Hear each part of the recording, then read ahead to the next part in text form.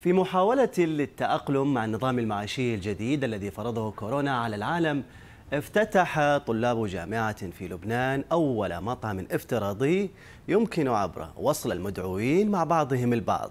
عبر الإنترنت التفاصيل مع غنوة يتيم.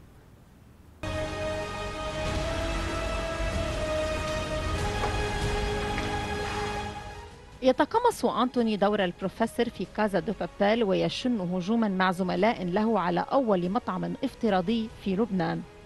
زملاء الدراسة قرروا تحويل فكرة هذا المطعم إلى حقيقة بعد تخرجهم فأقاموا أول حفل عشاء داخل مطعم رمموه في حرم جامعة الحكمة التي دمرها انفجار بيروت ومع جائحة كورونا أتت هذه الفكرة لاستضافة أقل عدد من المدعوين داخل المطعم فيما شاركت ثلاثون عائلة طعام نفسه واستمتعت بالعروض الفنية ذاتها ولكن من خلف شاشات منازلها.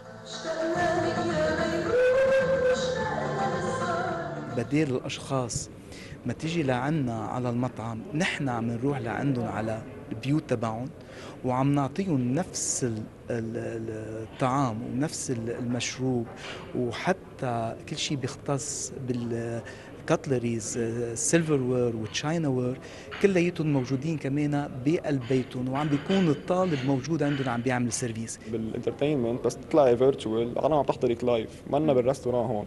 إذا كنا بال restaurant هون في ناس يتفرجوا عليها في ناس يطلعوا فيها في مين يحكوا معه. هونيك قاعدين بالبيت لحالهم العالم فبدهم يحضروا entertainment ممنوع يزهقوا بده يكون في singing بده يكون في رقص بده يكون في تمثيل بده يكون في shows بده يكون في بارش بده يكون في حركة على طول ودسمه بدها تكون maximum ساعة ساعة وربع.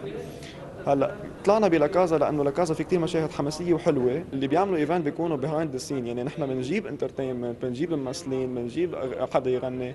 هيك بنكون عملنا event مثل العادة. بس هالسنة ما بتعرفي ما في مصاري وين بدنا نجيب حدا يمثل وين بدنا نجيب مين يرقص. فاللي عملنا إنه نحن تمرنا على الرقصة. على الضفة الأخرى وصل جاد لتقديم خدماته الفندقية داخل هذا المنزل. تم دعوة الأصدقاء للاستمتاع بهذه التجربة. هنا كان الطعام حقيقيا.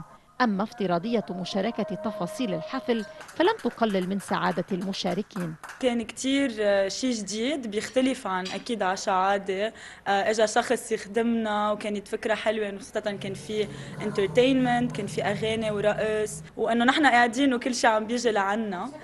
فعن جد حسينا حالنا بمطعم بس إنه بمحل كتير فاميليير لنا غيرت كورونا من عادات المجتمعات. ومع بداية اختفائها قد يحافظ العالم على الكثير من القوانين التي فرضتها الجائحة. غنو يتيم العربية بيروت.